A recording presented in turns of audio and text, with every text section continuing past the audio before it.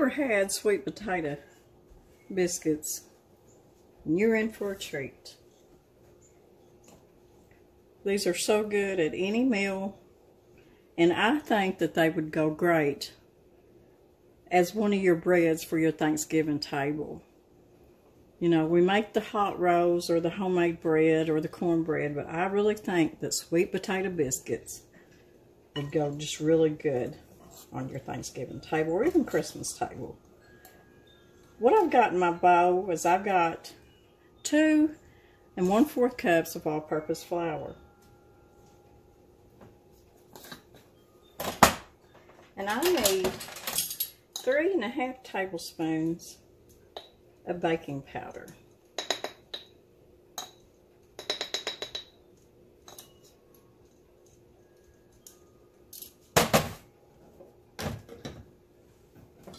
I need a couple teaspoons of sugar.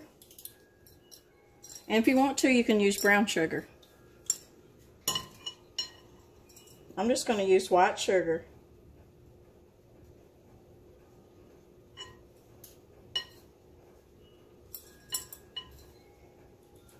My sugar's not coming out very good. There you go, two teaspoons. I need a teaspoon of salt.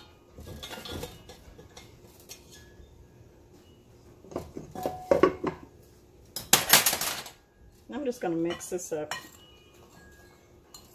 Now your recipe calls for six tablespoons of cold butter. What I like to do is I like to shave mine up like this, just grate it. And really and truly, when you grate it like this, you really don't. You just kind of mix it in there. You don't have to work so hard to, you know, combine it into your flour.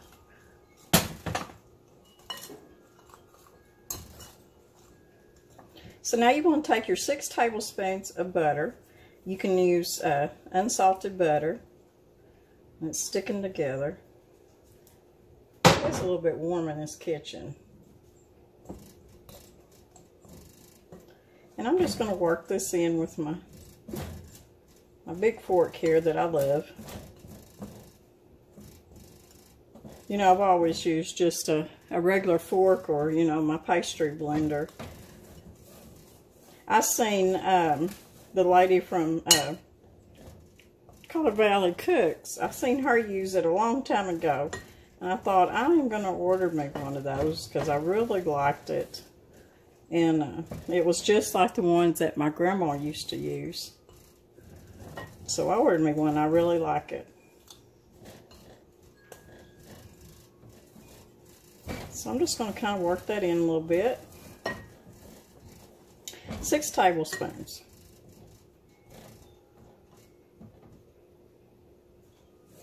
Now,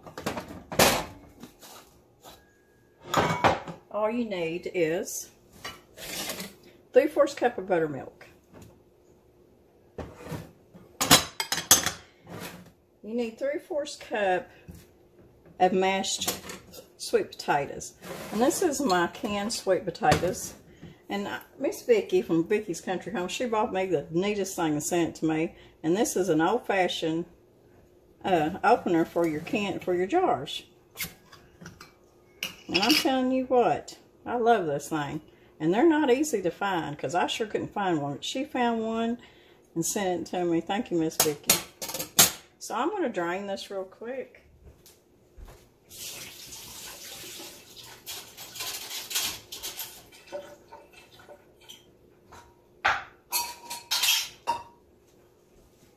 Get back over here to you. And uh, a little bit of butter in there. I'm not sure. This may be just a little bit more than three-fourths of a cup.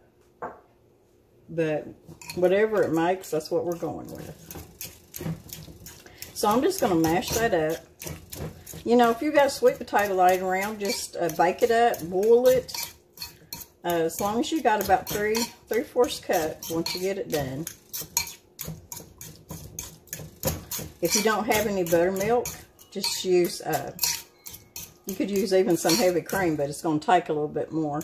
Because y'all know how good them um, two ingredient biscuit recipe I done a while back. Them were some of the best biscuits. I had a lot of people that made them and they just loved them. Okay. Three-fourths cup buttermilk.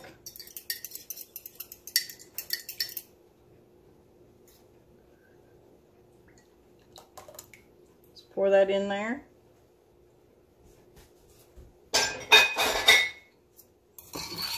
Mix that up with your sweet potatoes.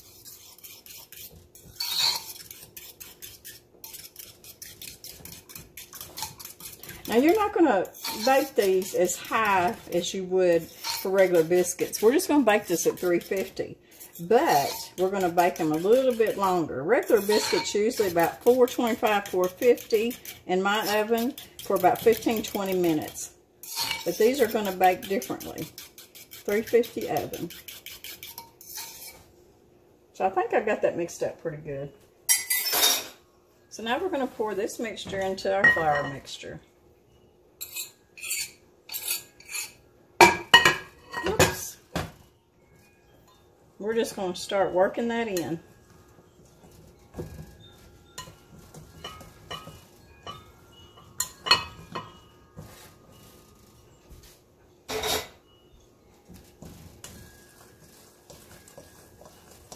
It's going to come together pretty fast. Make sure I get all that flour worked in there. I don't want to overwork it. And it's pretty loose. If it's too loose, you can add a little bit more flour.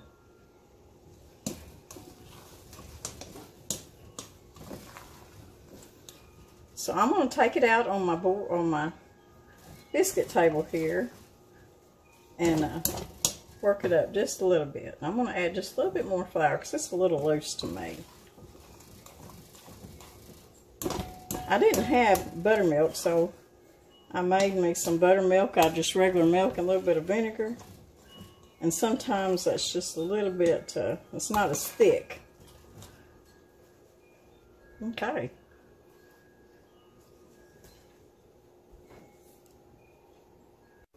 If your dough still seems a little bit loose, just keep pulling some flour in it. I just floured my, my biscuit table real good. I don't want to work this too much. The dough is real soft, real workable. So what I'm going to do, get my roller.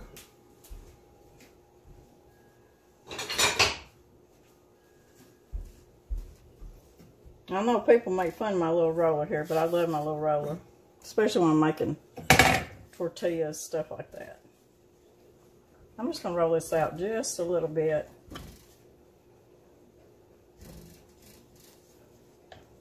And I'm going to take it and fold it over just like that.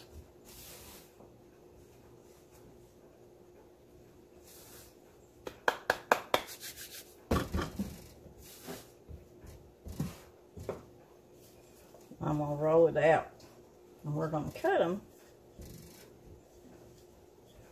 I'm going to put them on my my little cast iron skillet. That's what I like to cook my biscuits on. And if it was colder than it is, we'd be making them in the wood cook stove. But it's not. It's 70 degrees again today. Let me wash my hands.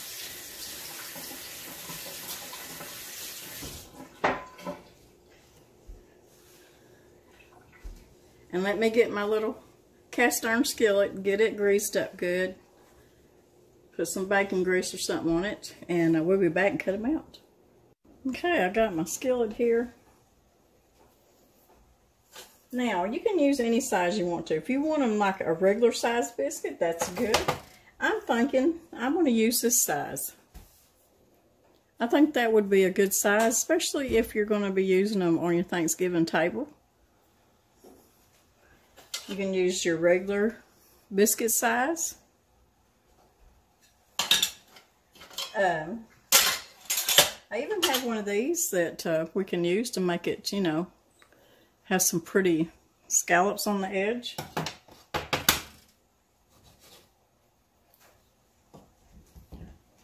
So you can see how pretty that would be. See the edges. And I'm just going to take them, just kind of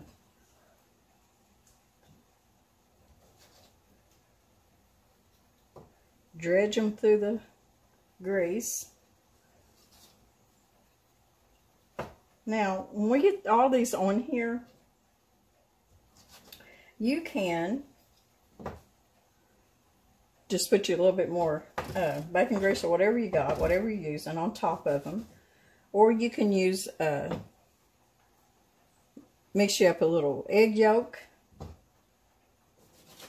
with a little teaspoon of water and kind of brush the tops of them. It'll make them really pretty. Golden on top.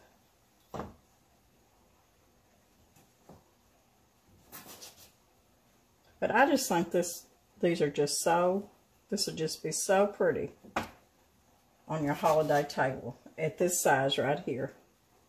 Or any size, but I just think this is really sweet.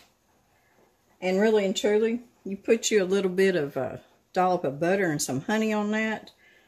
Ooh-wee, you talk about good. So I'm going to get the rest of these cut out. I'm going to get me another cast iron skillet. And we'll be back when I get them all cut out.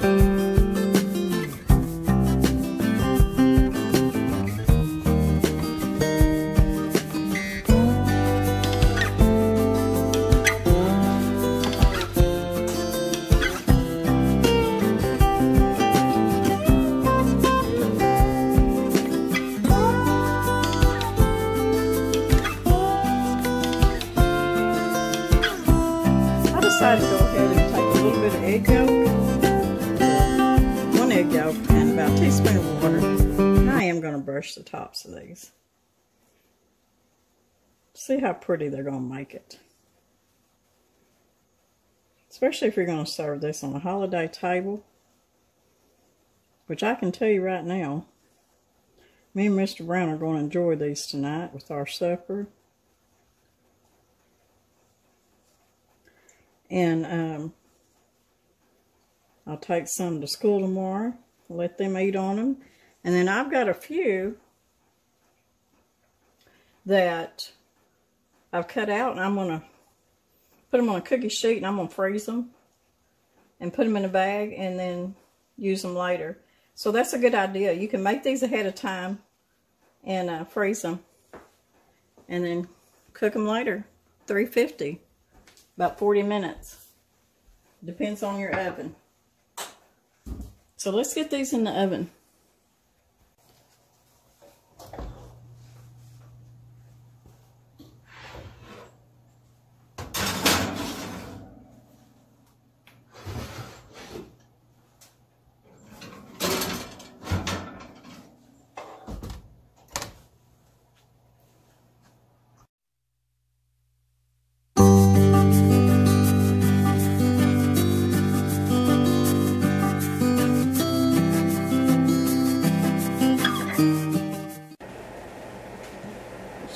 My beautiful wife has made you some sweet potato biscuits, some food for your body, and now I'm going to give you a little bit of food for your soul. It's going to be a little bit of lengthy reading, but bear with me. I'll try to get through it. We're going to go back to the beginning of time. Sometimes we need to step back and just think about things from the beginning. In the beginning, God created the heavens and the earth. The earth was without form and void, and the darkness was on the face of the deep. And the Spirit of God was hovering over the face of the waters. Then God said, Let there be light. and there was light. And God said, The light that it was good. And God divided the light from the darkness. God called the light day, and the darkness he called night. So the evening and the morning were the first day. Then God said, Let there be a firmament in the midst of the waters, and let it divide the waters from the waters. Thus God made the firmament and divided the waters which were under the firmament from the waters which were above the firmament. And it was so. And God called the firmament heaven. So the evening and the morning were the second day. Then God said, Let the waters underneath the heavens be gathered together into one place, and let the dry land appear. And it was so. And God called the dry land earth, and the gathering together of the waters he called seas. And God saw that it was good. Then God said, Let the earth bring forth grass, the herb that yields seed, and the fruit tree that yields fruit according to its kind, whose seed is in itself on the earth. And it was so. And the earth brought forth grass and herb that yields seed according to its kind, and the tree that yields fruit whose seed is in itself according to its kind. And God saw that it was good. So the evening and the morning were the third day. Then God said, Let there be lights in the firmament of the heavens to divide the day from the night. Let them be of signs and seasons, and of lights in the firmament of the heavens to give light on earth. And it was so. Then God made two great lights the greater light to rule the day, and the lesser light to rule the night. He made the stars also. God set them in the firmament of the heavens to give light on the earth, and to rule over the day and over the night, and to divide the light from the darkness. And God saw that it was good. So the evening and the morning were the fourth day. Then God said, Let the waters abound with an abundance of living creatures, and let birds fly above the earth across the face of the firmament of the heavens. So God created great sea creatures and even living things that every living thing that moves, with which the waters abound according to their kind, and every winged bird according to its kind. And God saw that it was good. And God blessed them, saying, Be fruitful and multiply, and fill the waters and the seas. Let the birds multiply on the earth. So the evening and the morning were the fifth day. Then God said, Let the earth bring forth the living creatures according to its kind, cattle and creeping things and beasts of the earth, each according to its kind. And it was so. And God made the beast and the earth according to its kind, cattle according to its kind, and everything that creeps on the earth according to its kind. And God saw that it was good. Then God said, Let us make man in our image, according to our likeness. Let them have dominion over the fish of the sea, over the birds of the air, and every creeping thing that creeps on the earth. So God created man in his own image. In the image of God, he created him, male and female. He created them. Then God blessed them, and God said to them, Be fruitful and multiply, fill the earth and subdue it. Have dominion over the fish of the sea, over the birds of the air, and over every living thing that moves on the earth. And God said, See, I have given you every herb that yields seed, which is on the face of the earth and every tree whose fruit yields seed, to you it shall be for food. Also to every beast of the earth, to every bird of the air and everything that creeps on the earth, in which there is life. I have given every green herb, every green herb for food, and it was so. Then God saw everything that he had made, and indeed it was very good. So the evening and the morning were the sixth day. Thus the heavens and the earth and all the host of them were finished.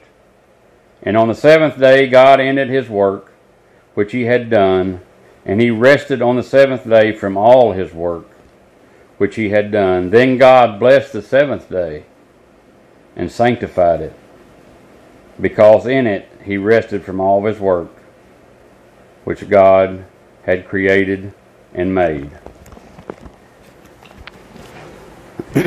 Sometimes we got to just step back and just remember how powerful, how